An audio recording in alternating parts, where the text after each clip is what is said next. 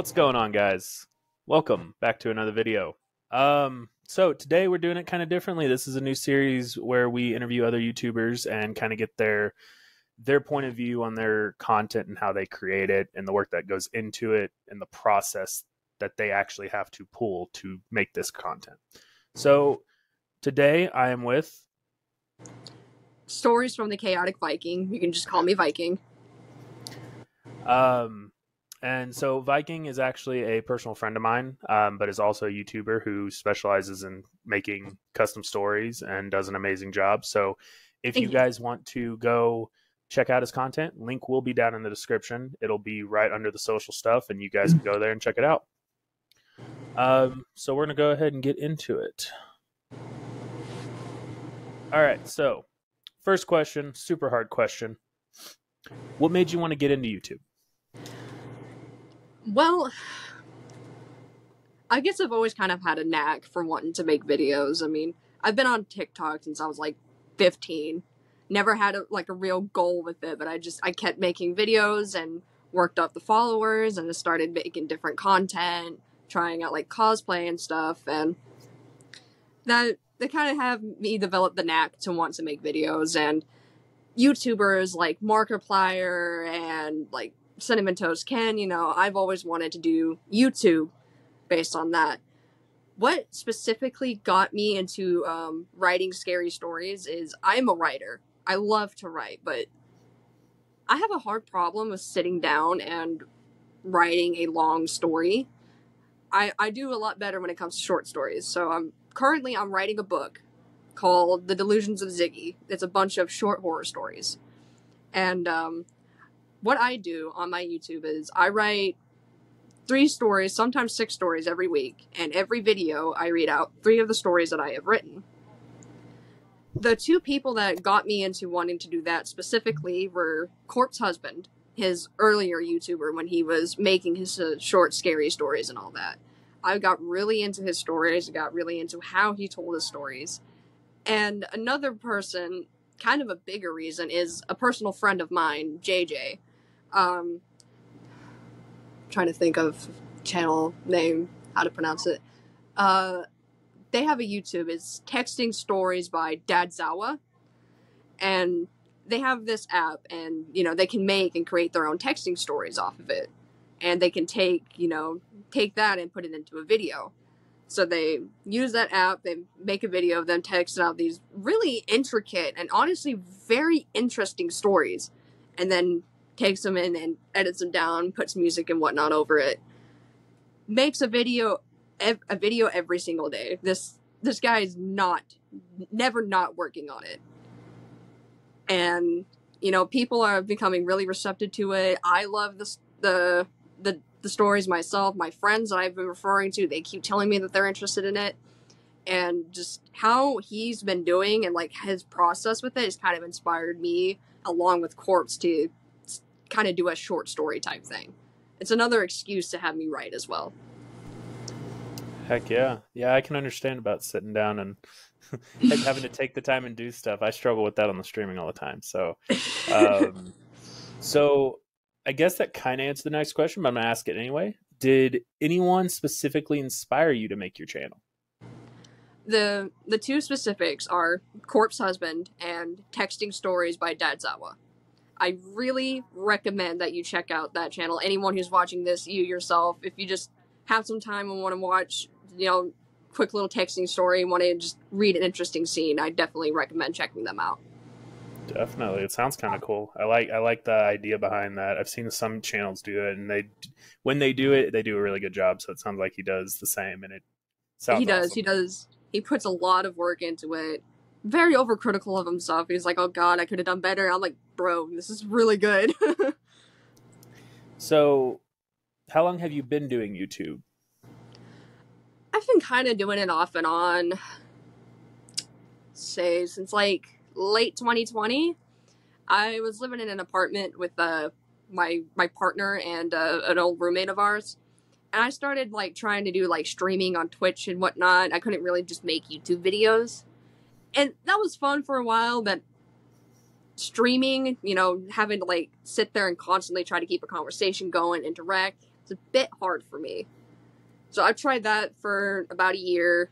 Didn't really work out. I tried doing reaction videos. And you know how that goes. So much copyright claim. I just. It took me. I've been doing the texting stories since like very early this year, but I've been doing YouTube on and off since like 2020. Gotcha. Yeah, I've been thinking about stopping the reaction videos because you know, copyright Yeah, is right now. One little tiny audio is enough. I know it's just one- the smallest of things too, and if you don't give credit for every little thing that you don't that you catch, it's it, it gets difficult. yeah. That's why I So, stopped. so well, you answered quite a few of my questions that first one. uh, let's see. Um, why do you do YouTube? Like, as in, why do you do it? Do you do it to keep people entertained? Do you do it because you love writing stories? I guess kind of a bit of both. I mean, I love writing stories. I've been I've been writing stories since I was like fucking three years old. I used to have this app. Um, it was just called Scary Stories, but it was an app that you could go on and you could write your short your short horror stories and post them on there. I've been on that app since like middle school, and unfortunately, it's no longer on the App Store. And even if it was, I don't I couldn't get it because I have an iPhone. But on that app, I actually got kind of well known. I I forget what my screen name on it was, but I had like a thousand followers. I always was having like at least a few hundred people reading my stories as I came out. They even had this um little rewards tab. It was like stories of the week and stories of the month and a bunch of other things. I wrote this um 10 part story called uh, Insanity at the Asylum. It was 10 little short horror stories all combining into one big story every single part of Insanity at the Asylum made Story of the Week and Stories of the Month. Two months in a row, actually. Wow. So, and now that I don't have that app anymore, I'm itching for a new avenue to write. So I figured the best way I could do that is to start YouTube, and I've been featuring a lot of my friends and stuff and the stories that I write and kind of like things outside, and you know because of that, you know I've been getting a lot of you know, their support too. They come and watch it. Like I love how you incorporated me in this. I, that's how I would picture my character doing this. So just between like my personal like people in my personal life, like dude, I wish I could read more of your stories, and missing my app. It's kind of why I do it. Um, lost my uh area of my list. Oh no. um, okay. Do you believe success for a YouTube channel lies within quality or quantity or both?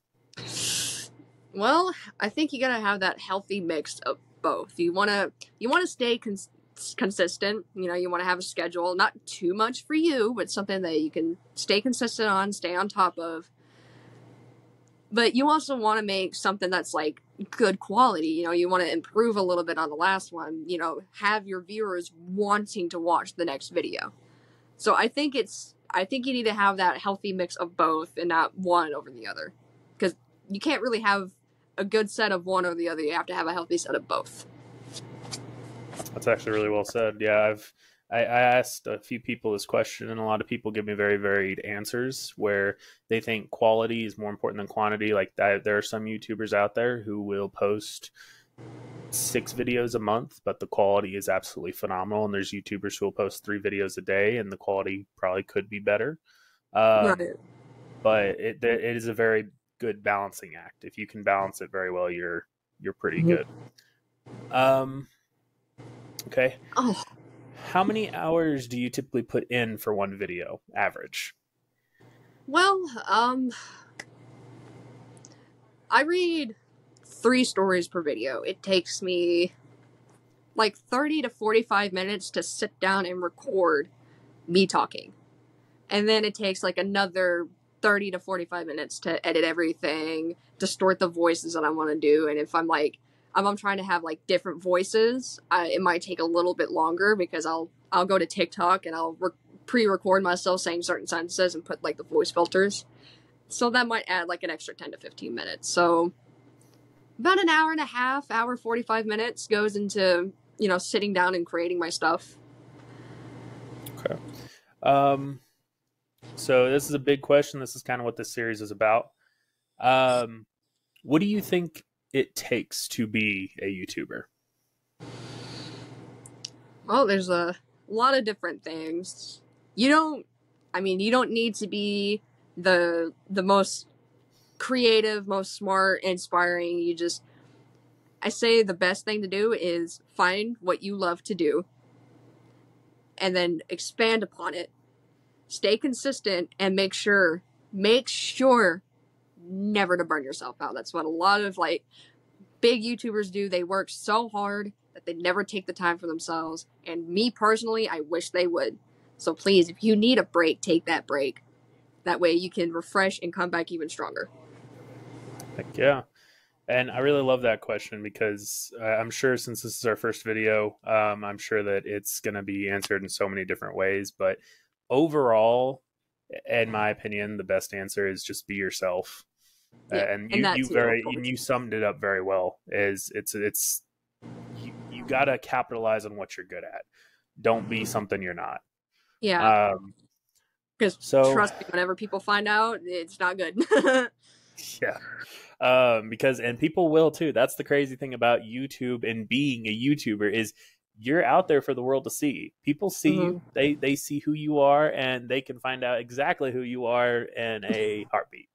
Yep. So um, it's creepy, but it's also kind of cool when you think about it. Because um, it, it forces you to be honest. Right. Um, so then final question. Is there anything you would change about being a YouTuber? Or would you change anything about your channel? Hmm. That's a that's a good one. Only thing is, um, you know, with being a YouTuber, I like my channel as it is. I do want to expand on it and do other things, so it's not just, you know, one thing. I'd like to, you know, maybe one week I'll post me reading my scary stories, and then all of a sudden I'm like in a different country ghost hunting. Or I'm out on my, my cross country trip and these are all my friends I'm getting to meet, you know? Just have more content, but other than that, I, I wouldn't really change a whole lot. I just maybe would change the whole YouTubers getting paid to be easier.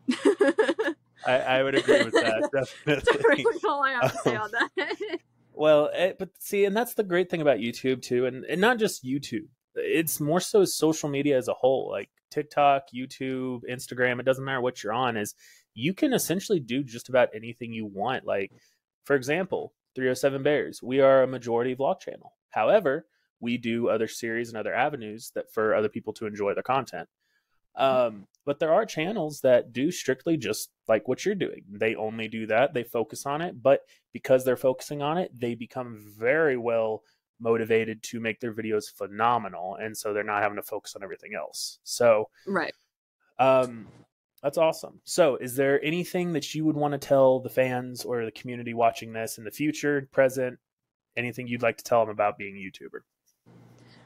Just do not stress it too much. It might seem like a whole lot at first. Just be yourself, find a schedule that works for you and stay on it and have fun. Don't do anything that you wouldn't have fun with. Do not do things that you wouldn't want to do because you think your fans would do it. Because trust me, when you see that your YouTuber is not having fun and what they're doing, it's not fun for the audience either.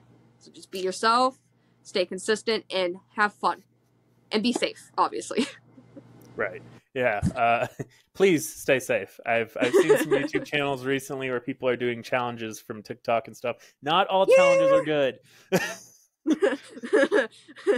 Not all um, prank channels are pranks. yeah.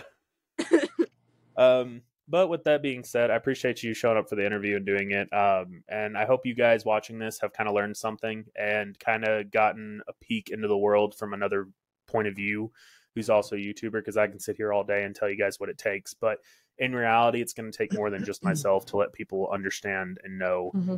what it really takes because there's so many different ways and so many different practices that YouTubers do that just what I do is not even touching the surface. So um, so thank you. Um, and with that being said, guys, I'm going to go ahead and end this video here. If you guys enjoyed the content, go ahead and smash that like, subscribe button. Twittergram, TikTok links are in the description. go check out the Discord. Uh, bleh, the two discords that we have in the description the family and the discord for the youtube you can catch viking on there as both for both of them as a discord moderator and me as the founder and a bunch of other people who just enjoy the content and love hanging out. So we're there if you want to come hang out. And uh, go check out the merch store. 10% off. Use their code earlybird all caps no spaces. And with that being said have a fantastic day guys